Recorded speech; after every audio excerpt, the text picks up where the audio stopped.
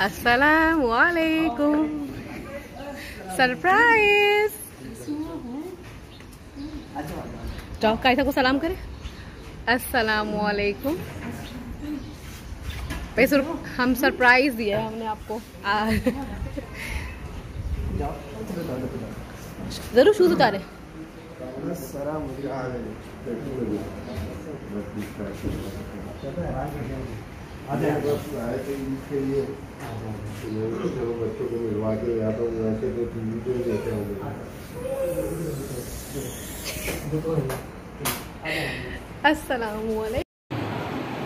जी तो मैं आई हूँ अपनी फ्रेंड के घर पे।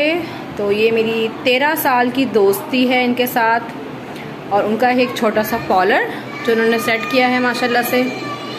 तो ये है आयशा ब्यूटी पॉलर घर में उन्होंने सेटअप किया हुआ है। तो मैं इनके घर में मिलने के लिए आई थी। तो मैंने कहा, चलें, आपके साथ शेयर करती हूँ। अब इंशाल्लाह मैं नेक्स्ट टाइम आऊँगी तो यहाँ से ही सर्विस करवाऊँगी इनके साथ। तो ये डिस्काउंट देंगी मुझे इनशाला तो ये है आयशा ब्यूटी सैलून ये है इनके प्राइस नाइस नॉट बैड माशाल्लाह माशाल्लाह माशाल्लाह माशाल्लाह।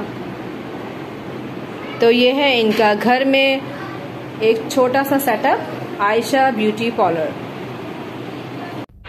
जब मैं अपनी अम्मी के घर में रहने के लिए गई थी मैके में तो वहीं पे ही मेरी इस फ्रेंड का घर है। तो मैं वहाँ गई थी इनसे मिलने के लिए तो ये है मेरी फ्रेंड अब मेरे बच्चों के साथ फ़ोटो सेशन करते हुए, इसके बाद मैं एक और फ्रेंड के घर गई थी, और ये मेरी कॉलेज की और स्कूल लाइफ की फ्रेंड है। बहुत ही पुरानी है और मेरे ख़्याल से हम शादी के बाद, मेरी शादी के बाद फ़र्स्ट टाइम मिल रहे हैं और मेरे ख़्याल से पंद्रह साल बाद हम जो है मिल रहे थे। तो इसको भी मैंने सरप्राइज़ दिया था और जब इसने दरवाज़ा खोला और मुझे देखा तो वो सबसे पहले बच्चों को देखने लगी सरताशा और उमर को और कहने लगी कि ये बच्चे कहीं देखे देखे लग रहे हैं। तो फिर कहने लगी अच्छा है, ये तो उमर और सरताशा हैं।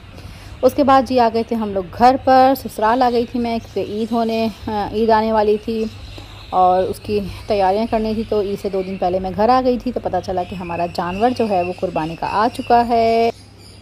उमर और जताशा बहुत खुश थे कि हमारे घर में काव आई है और गोट आई है तो उस चीज़ को देख के बहुत खुश थे, क्योंकि फ़र्स्ट टाइम इन्होंने इस तरह जो है, अपने सामने देखा था कुर्बानी के जानवर को तो ये बहुत ज़्यादा खुश थे।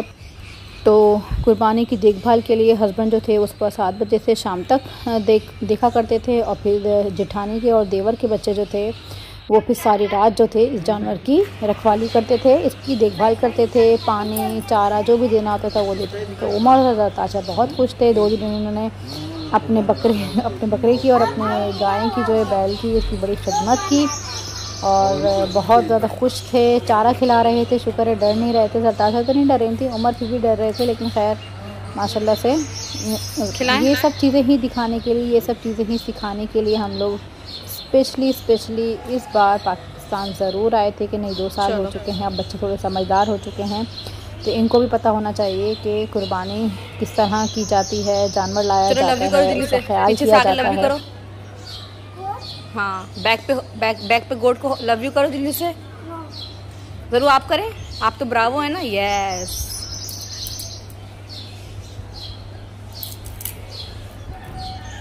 चल बस। फिनिश हाँ लव यू करें। बस बेटा ये आज का मेहमान है माशाल्लाह।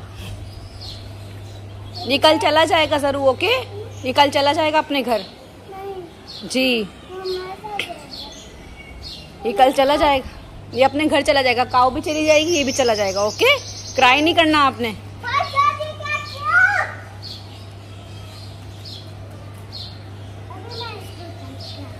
ये टाइट करो।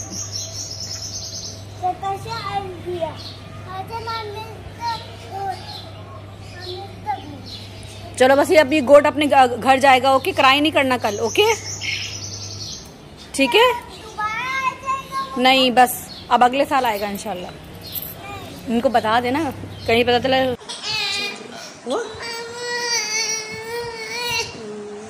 अब ये है अनाविया की।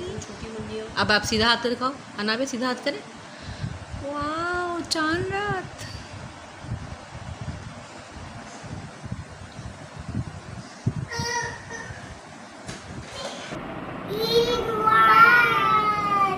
ज़रू की चांदरा ज़रूर दिखाइए अपनी मेहंदी। ये ज़रू की चच्ची ने लगाई है जरताशा की चच्ची ने लगाई है माशाल्लाह से। रैयान की और अनाबिया की मम्मा ने लगाई है ये। इसलिए जरताशा ने वॉश कर लिए क्योंकि अब स्लीप टाइम है और रात के बच्चों के हैं ग्यारह। और कल है ईद। उमर खान? चले जी। अब है स्लीपिंग टाइम से गुड नाइट चाँद रात मुबारक. चले अपना मेहंदी दिखाएँ यूँ करके। हाँ दोनों हैंड में। दोनों हैंड को मिलाएँ। मिक्स दोनों हैंड को मिलाएँ। ये गुड जी आ चुका है ईद का दिन। आप सबको ईद मुबारक। और ये क्लिप जो है ईद की मॉर्निंग का है।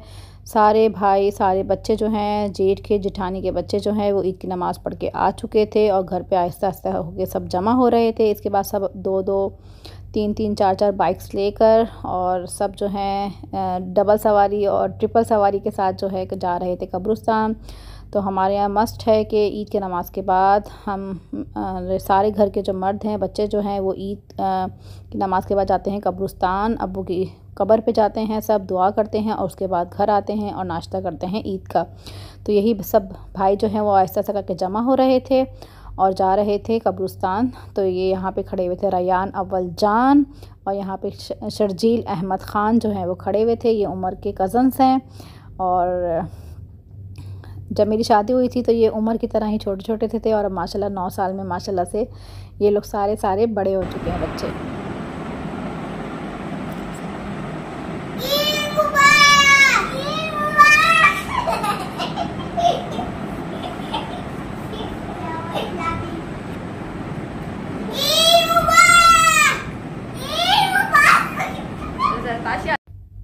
यहाँ करती हूँ अपने ब्लॉग का एंड अगर मेरी ये वीडियो आपको अच्छी लगी है तो उसे लाइक करें शेयर करें सब्सक्राइब करें। मिलती हूँ इंशाल्लाह नेक्स्ट वीडियो में। अनटिल देन अल्लाह हाफिज़।